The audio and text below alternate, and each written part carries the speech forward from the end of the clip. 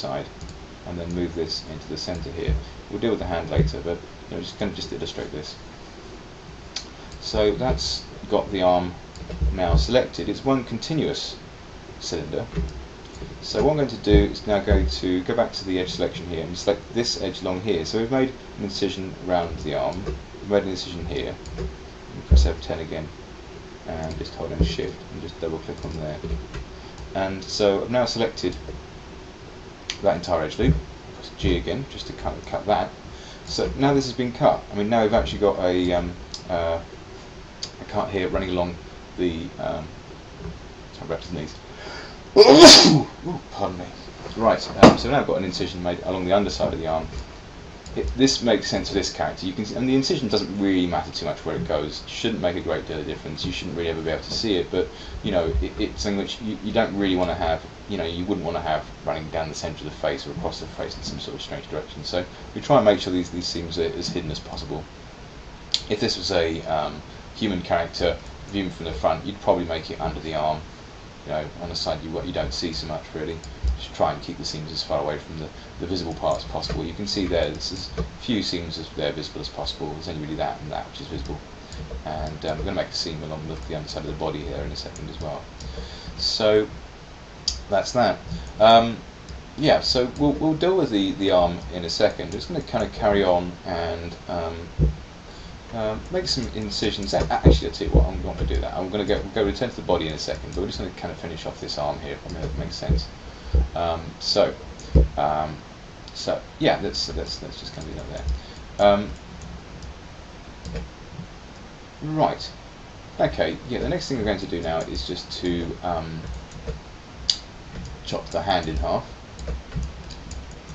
Okay. So I'm going to slice the hand running around here. So uh, with edge sleeve selection, we could either choose this edge or this this one.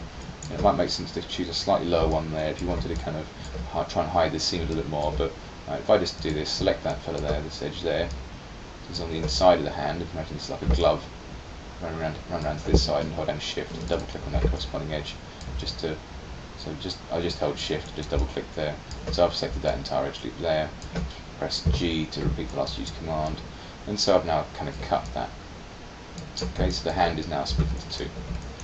Um, okay, yeah, right. I am going to just going to show you the uh, next stage in the graph in the in the UV texture editor, which is to try and make this fella here into from being you can see it's purple, so you can see we've got tangled UVs. So instead of having tangled UVs, we want this to be a cylinder. So the way we're going to do this is by doing this. The thing is, there's a tool in here we can use to, um, yeah, this is, you imagine this is like a cylinder, which is, if this was out straight, you can imagine this being out straight. You can imagine this being the skin being unfolded and laid out, laid out flat. Now, there is a tool for doing this, for actually unmapping this and pulling this kind of contorted shape into a straightened out shape. Um, we actually didn't need to do these cuts to do this, but I think it's always helpful to put these cuts in here first, just so you can see this.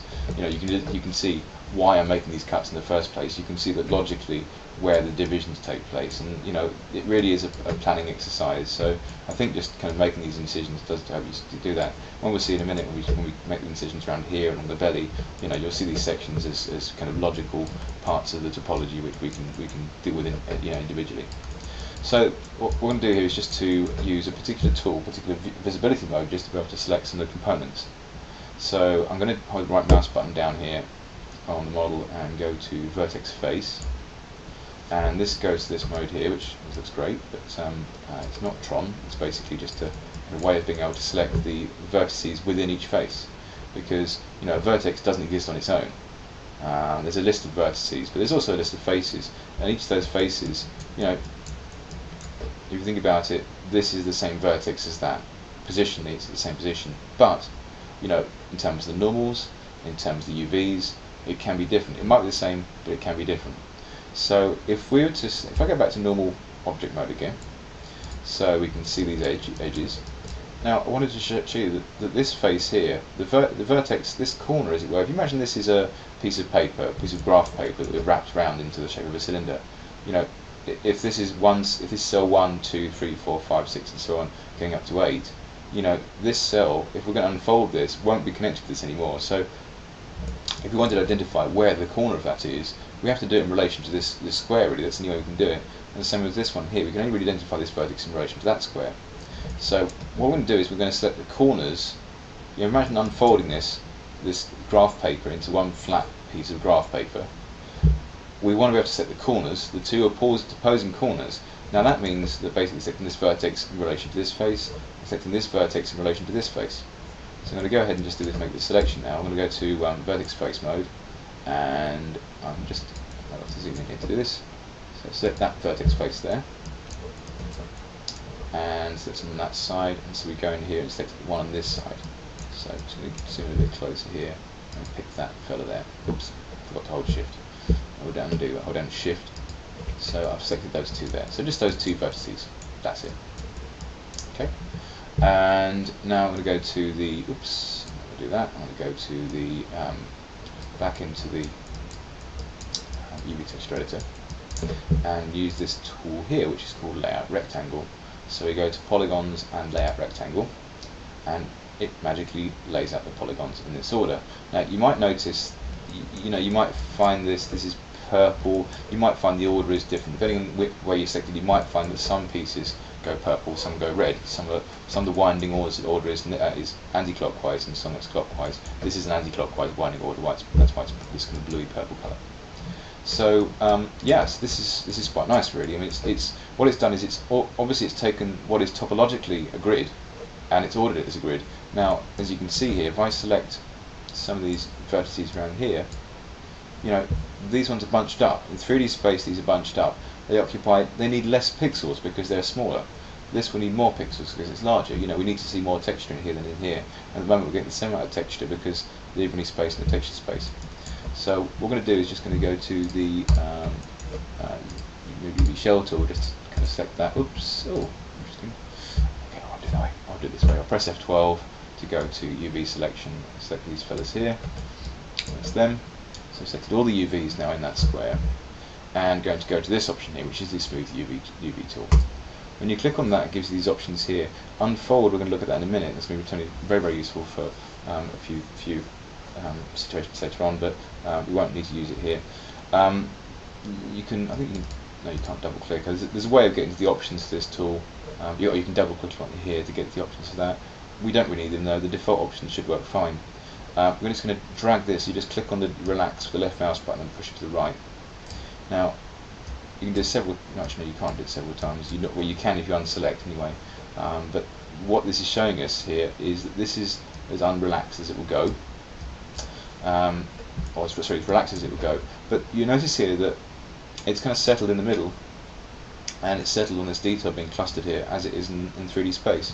So relax uh, basically averages the vertices as they appear um, in the um, uh, in the in the 3D space. So what I'm going to do here is just because it won't it won't adjust the edges. What the default setting is, it won't adjust the edges. If we, if we, you, there's no mode you can turn on, you can turn the adjustment uh, edge adjustment on, but you won't get what you expect. It will start shrinking. So what I'm going to do is try and let me set these. Uh, move these inwards a bit. So just by scaling these, just so that there's more of a so these vertices correspond with the inner ones here. So I'm just doing a bit of a little bit messy for the time being. Uh, it won't be in a minute. Just going to sort this out. Um, it can be done pretty roughly because the, the, the relax will sort this out in a minute.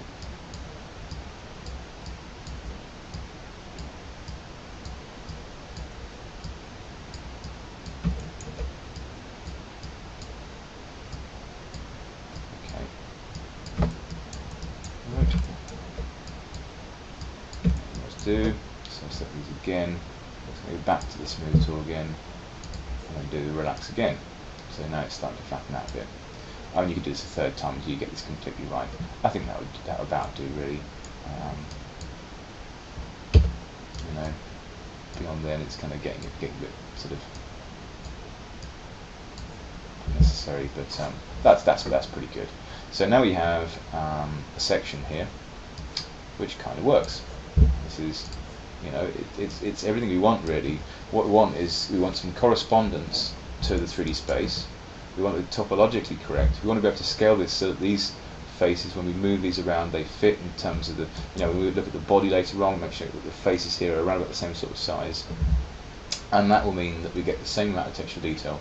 Of course, the size that the polygons are in the texture space when we finally arrange it will determine the um, quality. So, um, okay, so that's that's one kind of hand done. Um, we'll reposition this after after the break then.